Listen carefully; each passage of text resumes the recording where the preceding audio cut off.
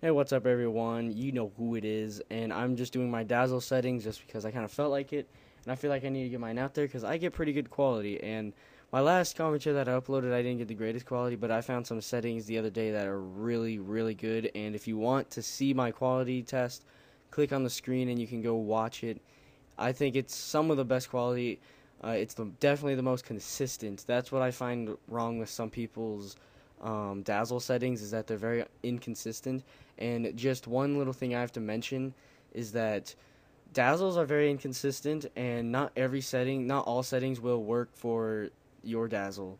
I know my settings don't work for like my friend's Dazzle, so if these settings don't work for you, don't be a don't be do don't be good English. Don't be a douche and mention that your settings suck because you're just gonna have to try to find some settings that work for you. Um, like I said, the not all settings work for every dazzle. It's weird. I don't get how that happens because they're all the same, but some for some reason it just it just matters. So, anyways, let's get into it. My Pinnacle Studio is not on this computer; it's on my other one. So I took snapshots of it. Here's my settings. You can get to this by going to the bottom of Pinnacle Studio 12, and it's right next to Start Record. You can't miss it. If you miss it, you need some help. But of course, your capture source, I didn't go over that just because you obviously want your Dazzle. Your capture format, you want your preset to be MPEG dash one half, and your your uh, whatever this is called. I guess it's called DVD compatible, set to high quality DVD. That's the most important part in there. So that's all I'm gonna focus on.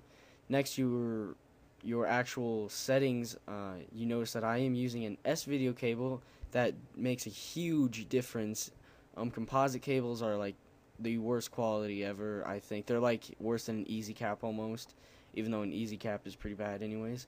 But they're don't just copy these down. I ha- I do have one mistake. Uh, this is your contrast, and you actually want to set this up to about four dots. Uh, that's what I usually have it at. I don't know why I had it set to default on this, but that's not what you want it at. So set up four, three to four dots is pretty good. Then you want to set your sharpness down and everything else to default uh, your sharpness all the way down. Sorry about that. Um, and that is that. And you just want to make your video and then put it into Sony Vegas. And here's what you're going to want to do. First, obviously, get your clip in there. So I'm just going to use this, and I'm going to have to scale it down to something. I don't know. Uh, Alright, let's find something to use.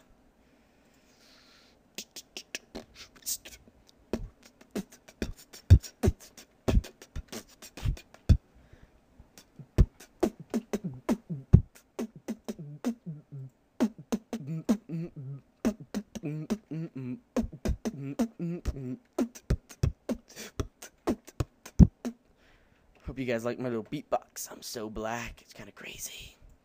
Alright, so I just scaled my video down.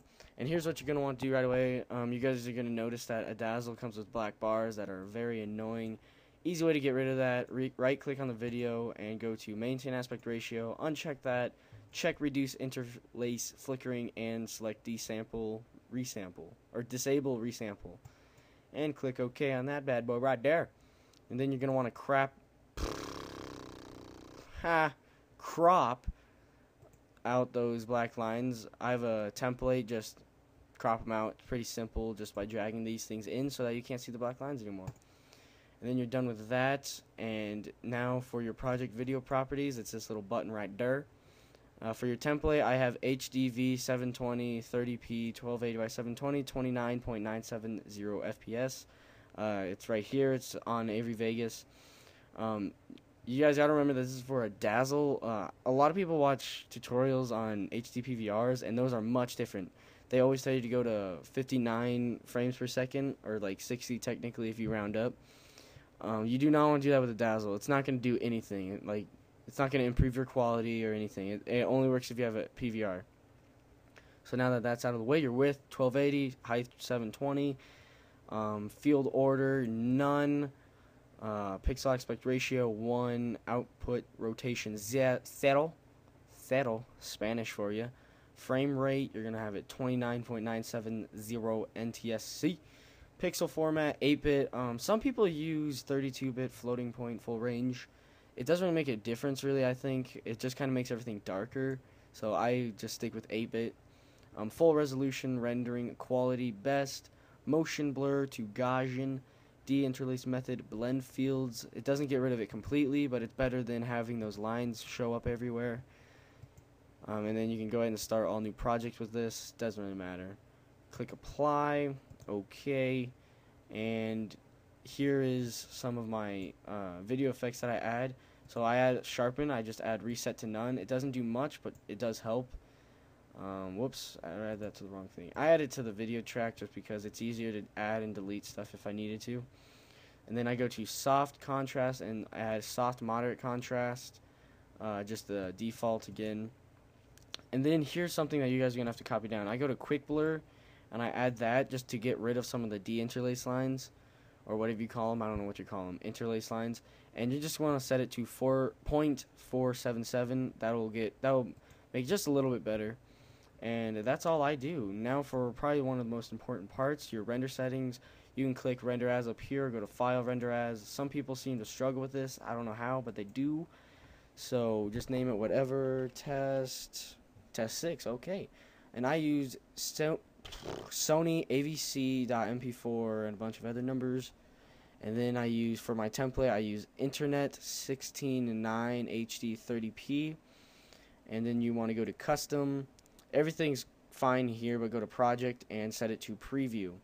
Click OK and go ahead and save it. I'm going to pause the video just because I guarantee you this is already a long video. Alright, so just finished up and you're pretty much done right there.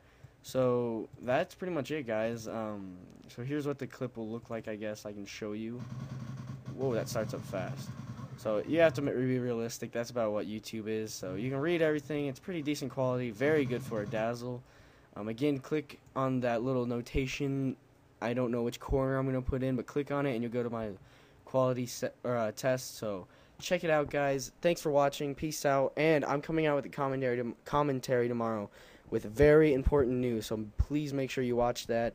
And that's it. It's your boy Websta. Peace out.